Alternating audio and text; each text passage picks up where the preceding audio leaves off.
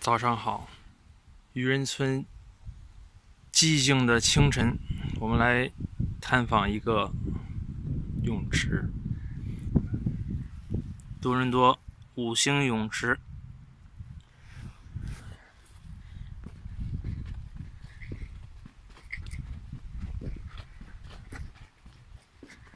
从侧门。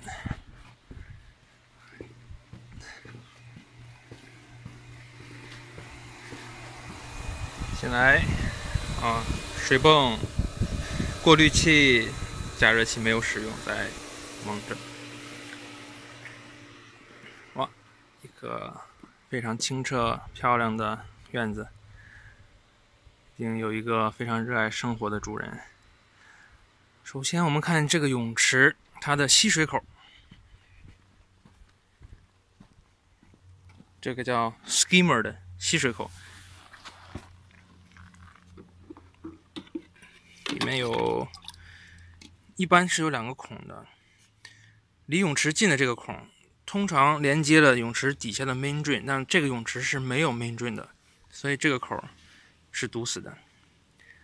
后面这个离泳池比较远的口，吸水直接去水泵，水泵经过过滤加热之后，通过墙上的两个回水口，一个在这儿，一个在那边，回到泳池。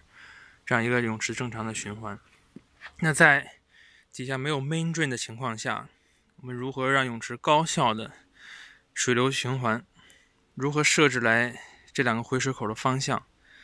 我们通常把深水区的这个回水口让它朝泳池的底部喷水，这样整个深水区的水都可以让它流动起来。浅水区的这个回水口，我们让它略微向上一点，向前喷。这样呢，我们就可以看到清晰的波纹。那么在不去打开 skimmer，也不用用手放到水里摸的情况下，我们就知道这个泳池现在在正常的循环。呃，这这这这这样就是一个泳池循环的调节。